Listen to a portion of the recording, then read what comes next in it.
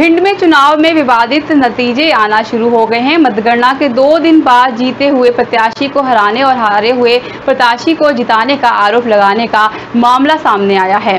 मतगणना में सुरपुरा वार्ड में सुखपाल सिंह लगभग 1600 वोट से विजयी हुए। बीते रोज की मतगणना में लगभग 4000 वोट से मनीष यादव कमई को जिताया था। जीते हुए प्रत्याशी को हराने पर समर्थकों में आक्रोश देखा जा रहा है। प्रत्याशी ने आत्महत्या करने की भी धमकी दी है। वहीं भारी तादाद में पुलिस बल को तैनात किया गया है।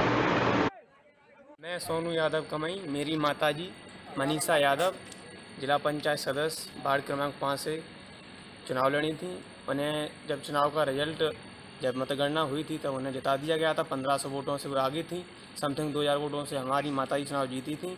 और आज मुझे जानकारी मिल रही है, लोगों द्वारा बताया जा रहा है कि कहीं ना कहीं सुखपाल सिंह को 1600 वोटों से जिता दिया, जो कि कहीं न, कहीं भी फाइट में नहीं थे हमारे।